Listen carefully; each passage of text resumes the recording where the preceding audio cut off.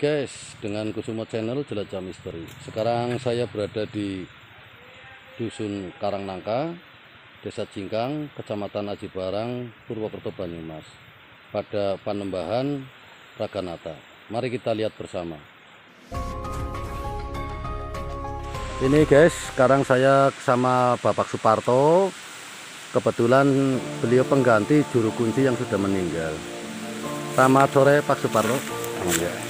Ini maaf saya mau tanya keberadaan Panembahan Mbah Raganata itu bagaimana Pak? Apa dan bagaimana siapa sebenarnya Mbah Raganata ini? Itu ya sebenarnya sih saya yang diberi kasih tahu dari kakak saya dulu. Yang satu itu namanya Mbah Mendot. Sebenarnya Mbah Mendot sama Mbah Rangganata sama Mbah Tirta Jaya, Mbah Rantansari. Kan ada di sini katanya. Jadi namanya di Desa Jingkang ya. Ini kan Iya. Jingkang. Betul Desa Jingkang, Dusun Karangnangka ya Pak ya? Dusun Karanangka. Iya. Asal usul dan sebenarnya dulu Syekh Abdul Somad pernah mengadakan tapa berata di Cirebon. Dulu Iya, kan ya, Iya, iya. di Cirebon. Tapi dulunya kan tapa kalau siang itu di bawah. Ya kan? Siang di bawah, tapi kalau malam naik ke atas karena digoda sama ular Nagasari Itu bertapanya di mana ya Pak ya? di Cirebon. Oh di Cirebon ya, di Gunung Jati atau di mana itu? Iya, katanya di Sunda Kelapa. Oh di Sunda Kelapa. Ya kan, jadi kalau udah tapa di sana, langsung itu kelapa kan jatuh semua, Iya, iya. udah tua. Jadi di kantet itu itu Mbah Abdul Somad itu naik, naik ke sungai, berhentinya kan di Cilacap. Iya, iya. Jadi di sana bikin apa namanya desa kelapa kerep ya. Kelapa kerep ya Pak ya? Ah. Nah, langsung sudah bikin kelapa kerep di Cilacap, Gerumbul nanti ya. Naik lagi ke Purwojati. Purwoker- Purwojati berarti Jatilawang ya? Iya. Jadi di sono kan ada Jati Sungsang namanya, Mm-mm. yang di pucuknya di bawah, tapi kan sekarang masih. Masih ya? Heeh. Di mana Pak Jatilawangnya? Di dekat apa ya? Kecamatan Purwojati di belakangnya. Ya itu berarti guys ini kita kecamatan Aji Barang berarti tetangga kecamatan namanya kecamatan Jatilawang. Kalau saya kan Kecamatan Cibarang. Iya. Kalau di sana Purwojati. Dapat kalau Purwojati langsung naik ke Jingkang. Jadi di sini bertemu sama Abah Muhasir katanya. Nah, terus apa namanya bikin sejarah Desa Jingkang. Desa Asal Jingkang. usul Jingkang asal usul se- sebenarnya dulu ada putranya Adipatih Pasir Luhur tuh mau apa ya? Nyidam lah ya. Cara Iya, kuno nyidam Ngidam cara dulu hamil. Mm-mm, hamil nah disuruh mencari kemudu ya pacel ya Pace ya Mm-mm. betul. ya kan di Solo kan dapat yang bijinya satu cuman satu padahal kan Satu pohon iya, cuman satu biji buahnya ya. iya ada tuh satu biji nah, namanya da, apa bikin namanya desa jingkang lah ya Desa Jingkang. jingkang nah sudah bertemu sama Abang Muwasir di sini kan Depok ya namanya berarti kan penglerenan Iya iya. jadi le- penglerenan ya Berhenti panglerenan itu dari kata leren ya, berhenti. patilasan lah ya, Eh. patilasan. Sudah di sini terus namanya tuh siapa ya namanya nih? Bikin namanya Desa Gerjurik. Gerjuri. Katanya kan ke Gerjuk air ya. Iya. kan iya. kirik jadi namanya Desa Gerjurik. Lah udah ke Gerjurik coba jalan lagi ke Jombor.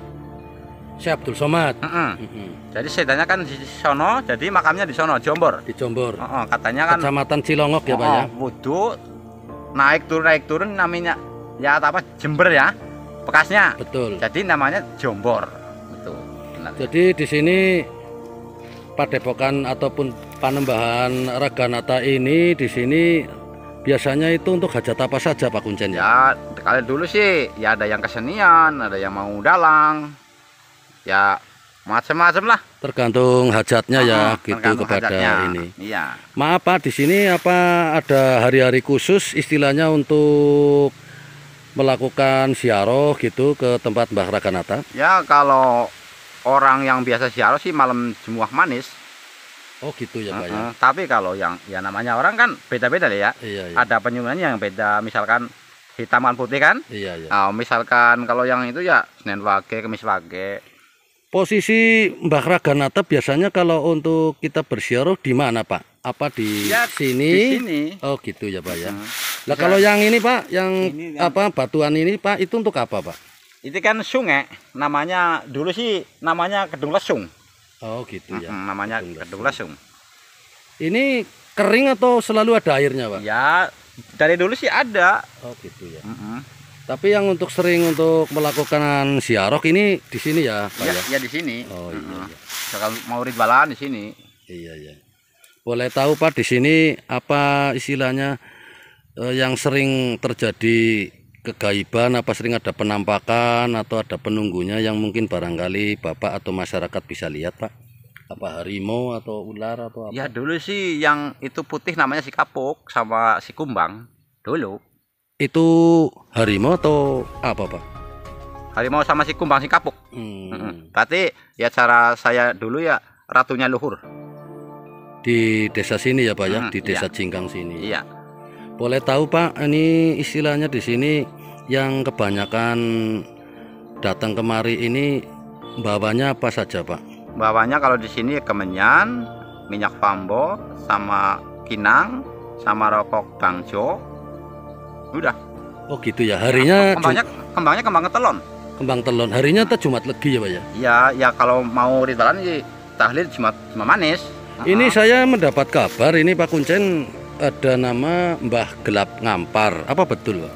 di sini ada tapi di sono kuburan Oh di kuburan ya Pak ya? Oh, anu, tembang sore ada gelap ngamar ada oh gitu ya, Mm. itu di kuburan tapi yang di, itu kan desa. ada, selipan iya. belok kalau ke sini belok ke kiri Hmm, kalau yang ini oh, khusus kanan apa bisa untuk penggemblengan ilmu kekuatan dalam Pak seperti Mbah Gelap Ngampar? ya bisa yang penting bisa nyebutnya misalkan gelap ngampar di sana kan Iya Pak. dipanggil sama sini bisa Oh gitu. Oh, oh. Jadi ini guys merupakan satu rangkaian antara Mbah Gelap Ngampar. kan dulu Terus? saya kakak itu ada anaknya kakak saya kan jadi abri Iya ya.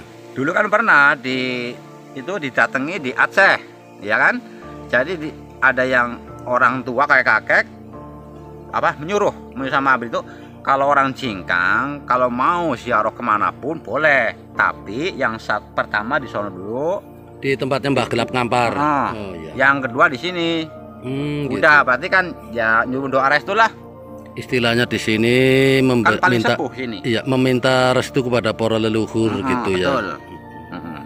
Anu yang sering disiarahi Mbah Gelap Ngampar atau yang Mbah Raganata ini Pak? Apa dua-duanya Ya Pak? dua-duanya. Kalau Mbah Rangganata, Bebas Rangganata kan di sini. Iya. Yang gelap ngampar kan sama Sembangsor di sono. Di sebelah sebelah apa ini Kuburan. ya Pak? Iya kuburan ya. Makam kuburan. Termasuknya termasuk ini ya Pak, termasuk yang sepuh malah Mbah Raganata yang di sini ini ya Pak ya. Iya. Oh gitu. Boleh tahu Mbah Raganata itu aslinya dari mana Pak? Kalau gitu saya belum tahu. Belum paham ya. Tapi yang jelas Iya, cuman saya dari anu ya itu apa? Ya saya Soma lah. Syekh Abdul Somad ya. Hmm. Jadi- kan tinggalnya anak buah di sini lah katanya lah. Ini termasuk petilasan berarti Pak ya. Petilasan, iya. Petilasan. Jadi di sini guys. Makanya dulu kan dikasih cukup udah dua kali di aduh berdiri kan, Iya. tapi nggak bisa nggak mau rubuh terus di sini. Oh. Ini guys tidak bisa apa namanya dikasih cungkup. Jadi Mbah Raganata ini petilasannya memang sederhana sekali seperti itu. Tidak Jadi saya mewah. dulu kan dikasih wilapat ya. Iya ya. kalau mau gawe bikin cukup di situ tapi cuman pak antapnya pakai apa tuk Oh. Jadi ini Pak ya di di sana di sana papringan. Oh iya iya iya iya. Itu. Tapi atapnya dari ijuk ya Pak ya. Hmm. Oh iya. jadi iya. ada, ada petunjuk lah ya misalkan bikin kan misalkan ada tamu mau kan ada yang buat berhenti dulu Berhenti ya. ya. Hmm. Terima kasih Pak Kuncen ini bincang-bincang kita ya kepada apa istilahnya Kusumo Channel mudah-mudahan bisa menjadikan bahan berita yang lebih akurat atau lebih realistik karena kita langsung menuju tempat dan boleh dikatakan termasuk di sini berhubungan langsung dengan apa yang memelihara julu priara. Semoga lain kesempatan kita bisa berjumpa lagi. Selamat sore Pak, terima kasih.